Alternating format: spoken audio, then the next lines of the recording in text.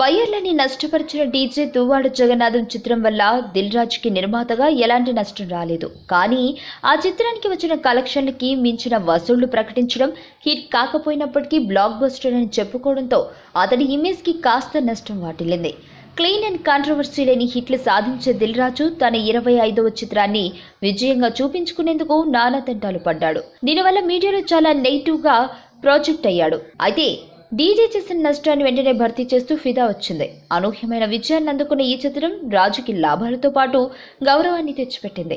ఫ్లాప్స్లో ఉన్న శేఖర్ కమల చెప్పిన కథని నమ్మి అతడికి పూర్తి స్వేచ్ఛనిచ్చి దిల్ రాజు ఫిదాకి వెన్నుదన్నుగా నిలవడంతో నిర్మాతగా నీరాజనాలు అందుకుంటున్నాడు. ఇలాంటి గొప్ప సినిమాలని అందించే దిల్ రాజు డీజే లాంటి చిత్రాలని వెనకేసుకుని రావాల్సిన పని లేదు. సంవత్సరానికి ఎన్నో సినిమాలు తీస్తున్నప్పుడు ఒకటి రెండు అటు ఇటు అయితే దానిని పెద్దగా పట్టించుకోనక్కర్లేదు. మన ఛానల్ మంచి పేదాలంటే ఏం చేయాలి? ఈశాన్యంలో బరువు తగ్గించాలి సార్. ఈ చేని కాస్త అటేసుకోండి నేను ఈ మూఢనమ్మకాలు మాయద్వీపాలు నమ్మనయా? క్రియేటివిటీని మాత్రమే నమ్ముతాను. అయితే పెంచుతాను సార్. దేన్ని? క్రియేటివిటీ.